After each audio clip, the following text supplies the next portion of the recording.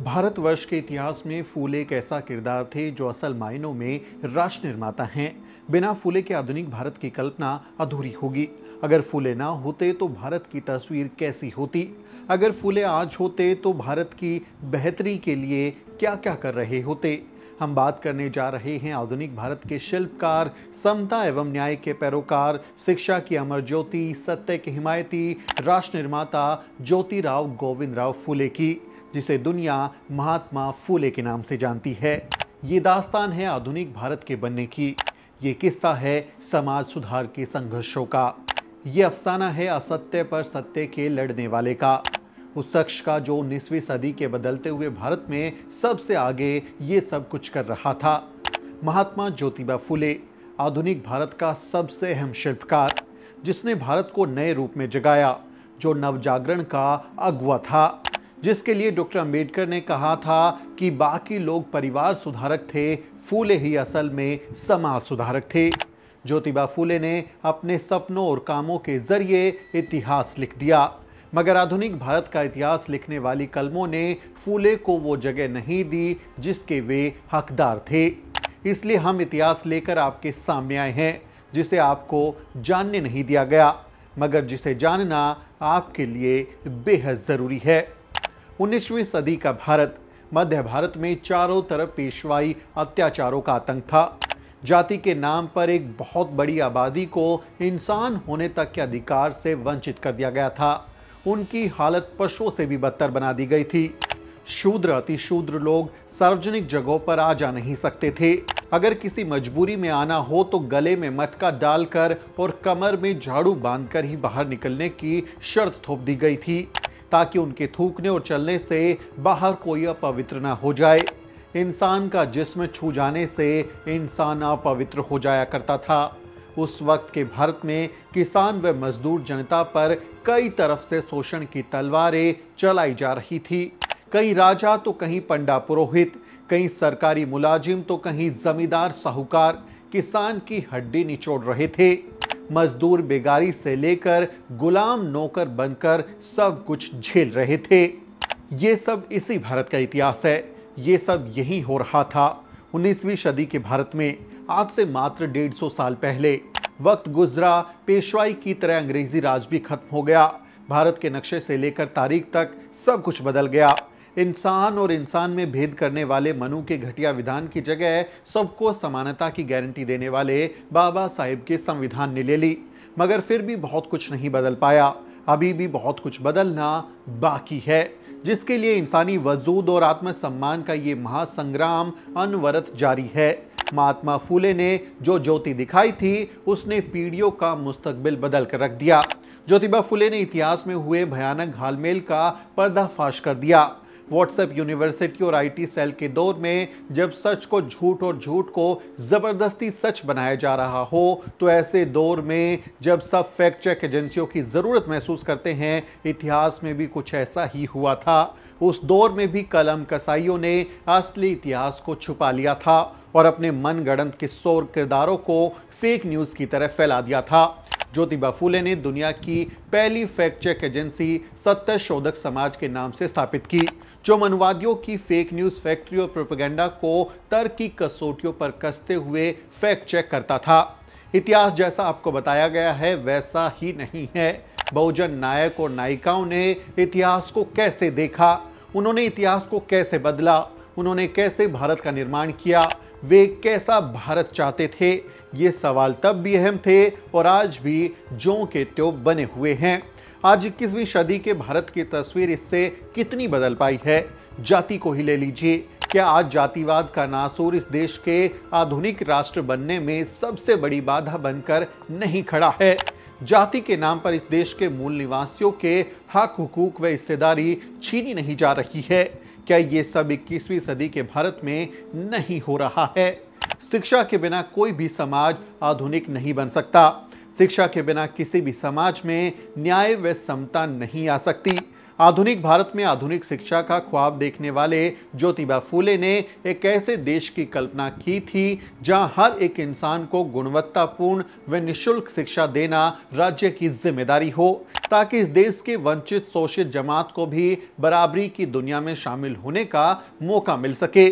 17 सितंबर अठारह का वो दिन था जब पुणे के बुधवार पेट में चल रहे लड़कियों के स्कूल में पहुँची भारत की पहली शिक्षिका माता सावित्रीबाई फुले अपनी गंदी साड़ी को बदलती हैं। क्योंकि स्कूल आते वक्त उनके ऊपर ब्राह्मणवादी लोग गोबर और कीचड़ फेंक देते थे, क्योंकि उनका मानना था कि लड़कियों को पढ़ने लिखने का कोई अधिकार नहीं होता। महात्मा ज्योतिबा फूले और क्रांति ज्योति माता सावित्रीबाई फूले ने एक ऐसी मशाल जलाई थी जो आगे चलकर क्रांति बन गई। फूले दंपत्ति की शिक्षा क्रांति ने पुणे को धीरे धीरे एक एजुकेशन हब के रूप में तब्दील कर दिया। फुले का नाम और काम महाराष्ट्र ही नहीं, बल्कि देश दुनिया में गूंजने लगा। तमाम मुश्किलें पेश आई। आर्थिक तंगी और विरोधियों की साजिशों के चलते एक स्कूल बंद होता तो फूले दूसरा स्कूल खोलने की कोशिश में लग जाते। चंद सालों के भीतर ही फूले ने करीब 18 स्कूल खोलकर लड़कियों और अछूतों के लिए ज्ञान और मुक्ति का रास्ता बना दिया, जिस पर आज ये सरपट दौड़ते चले जा रहे हैं। साल अठारह सौ बयासी में अंग्रेज़ों ने भारत में अंग्रेज़ी शिक्षा के दोषों को दूर करने के लिए हंटर कमीशन भारत भेजा। सर विलियम हंटर को यह ज़िम्मेदारी दी गई कि भारत में शिक्षा सुधार की नीति बनाए। ज्योतिबा फुले ने हंटर कमीशन के सामने पेश होकर न सिर्फ़ शिक्षा प्रणाली को बेहतर बनाने की मांग की, बल्कि कुछ बुनियादी सुधार भी सुझाए। उन्होंने ज़ोर देकर कहा कि अंग्रेज़ों को वंचित वर्गों के साथ होने वाले जाति भेद पर बैन लगाना चाहिए और दलित पिछड़े समाज के बच्चों को समान शिक्षा देनी चाहिए। इसी साल हुई एक बड़ी घटना का ज़िक्र करना यहाँ ज़रूरी है। भारत के viceroy lord Lytton Pune आने वाले थे। उनके स्वागत के लिए एक हज़ार रुपए खर्च करके पूरे पुणे शहर को सजाने का फैसला किया गया। बतौर नगर पालिका सदस्य फूले ने इसका कड़ा विरोध किया। फूले ने कहा, हमारे जैसे गरीब देश को केवल शहर सजाने के लिए इतना पैसा खर्च करना शोभा नहीं देता। अच्छा होता कि ये रकम पिछड़े वर्गों की शिक्षा पर खर्च की जाती। फूले जहन में शिक्षा सबसे पहले रखते थे। यहाँ तक कि सत्य शोधक समाज ने शादियों में होने वाली फिजूल खर्ची गृह प्रवेश में होने वाले कर्मकांड और मृत्यु भोज में किए जाने वाले दान की जगह आय का एक हिस्सा शिक्षा के लिए दान देने की शुरुआत कराई। महात्मा ज्योतिबा फूले अक्सर कहा करते थे, विद्या बिना मति गई, मति बिना गति गई, गति बिना वित्त गया, वित्त बिना शूद्र भय, इतने सारे अनर्थी का विद्या ने किए। अब जरा सोचिए, एक अविद्या ने कितना अन्याय किया। शिक्षा पर चंद लोगों ने कब्जा कर लिया। कभी गुरुकुलों के नाम पर अपनी जाति के क्लब बनाए गए तो कभी मास्टर ने वंचित वर्ग के छात्रों को इसलिए मार मार कर भगा दिया कि कहीं वो पढ़ लिख ना जाए। आज जो ये बहुजन देश दुनिया में दिख रहे हैं, उसके पीछे फूले जैसे महानायक और सावित्री माए जैसी महानायिकाओं का अदम्य साहस और त्याग छिपा हुआ है। आप सबने कोरोना काल का खौफनाक मंजर देखा होगा। लेकिन 19वीं सदी के आखिरी साल उससे भी भयानक थे। ना दवा थी, ना जागरूकता थी। ना था कोई भी इलाज। थी तो सिर्फ़ अंधविश्वास और पाखंड की परंपरा। धर्म और आस्था के नाम पर ऐसी कुरीतियाँ की जा रही थी जिसको लेकर लोग फंस जा रहे थे, अपनी जान गवा दे रहे थे।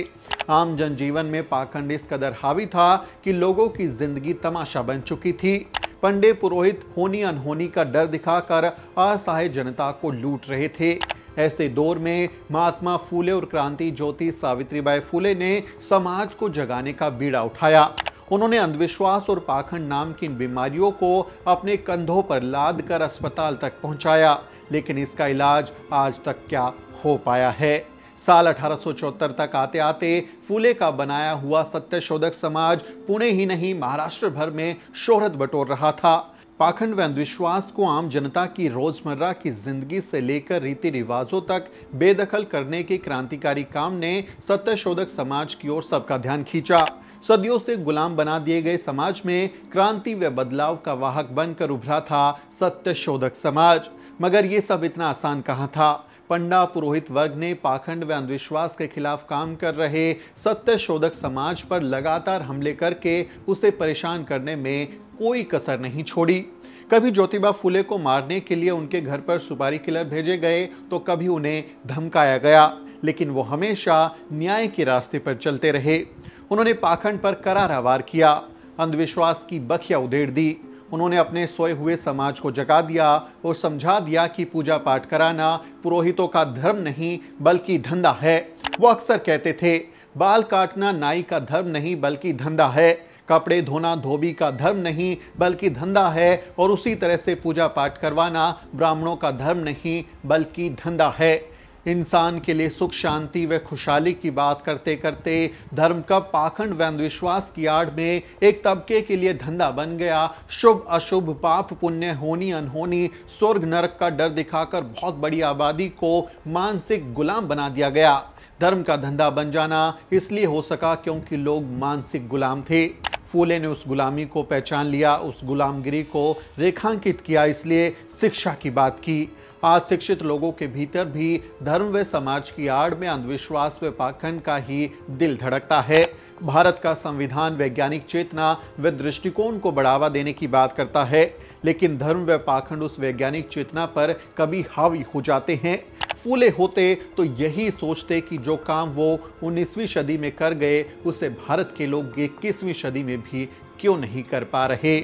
फुले की जयंती पर हम उन्हें नमन करते हैं। आप उन्हें कैसे याद करते हैं? राष्ट्रपिता राष्ट्र निर्माता ज्योतिबा फुले को आप कैसे याद करते हैं? कमेंट में लिखकर ज़रूर बताएँ। आपसे अपील है, वीडियो को अन्य लोगों के साथ शेयर करें ताकि उनको भी महात्मा के बारे में कुछ और जानकारी मिल सके। आपसे अपील है, वीडियो शेयर करें और चैनल को सब्सक्राइब करना ना भूलें। वीडियो के अंत में आपसे एक छोटी सी अपील। साथियों, अगर आपको द न्यूज़ बीक का काम पसंद है और आप चाहते हैं कि हम यूँ ही अम्बेडकरवादी पत्रकारिता करते रहें तो हमारी आर्थिक मदद ज़रूर करें। आप अपनी स्क्रीन पर दिखाई दे रहे इस क्यूआर कोड को स्कैन करें और न्यूज़ बीक फाउंडेशन के खाते में अपनी दान की राशि भेजें। क्यूआर कोड के अलावा आप यूपीआई के ज़रिए भी मदद कर सकते हैं। आप हमारी UPI ID news week at the rate yes bank पर भी मदद भेज सकते हैं। इसके अलावा आप हमारे अकाउंट में भी मदद भेज सकते हैं। खाते का नाम है news peak foundation account number है zero two three five double eight seven double zero double zero zero six four zero. I F S C code है yes B double zero double zero two three five. Bank का नाम yes bank है और branch है Nehru palace Delhi.